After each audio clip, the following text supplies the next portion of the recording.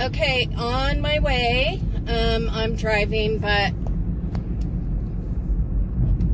Hey everyone, it's Cam Carolyn's son.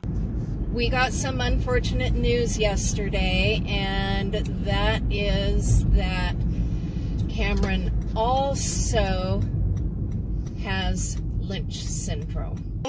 There you go. For you people who are new, or my son is 25% black. Surprise, motherfucker. Look at all those people just oblivious to the fact that there's a fire truck coming behind them.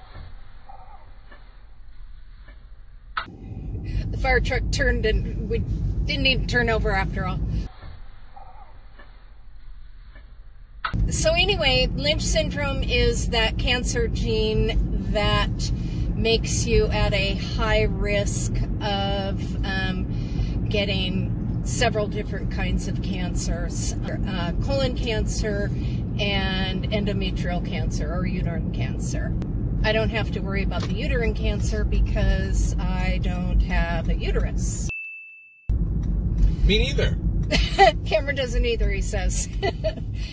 and so, anyway, uh, hurdle is to find a way for him to have his own colonoscopy and um, because he doesn't have insurance.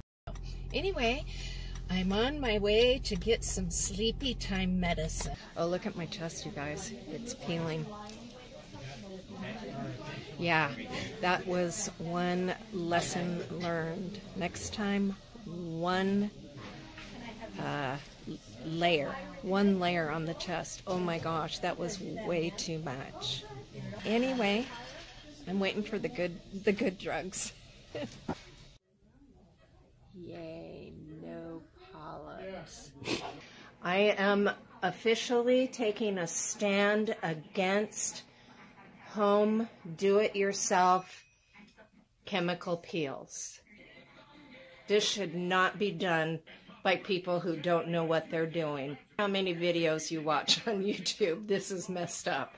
Follow a really informative channel called Natural Chaos. She's totally awesome. She her whole channel is around DIY skincare. Keep in mind, I'm not an expert. I'm not an esthetician. I'm not a healthcare professional.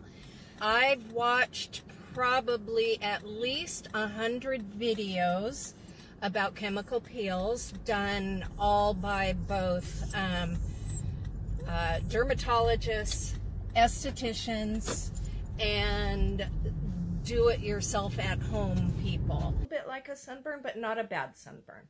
Well, probably because I'm used to having sunburn on my whole body and not just on my face. You need to stop. Stop. Know when to quit and just stop this already.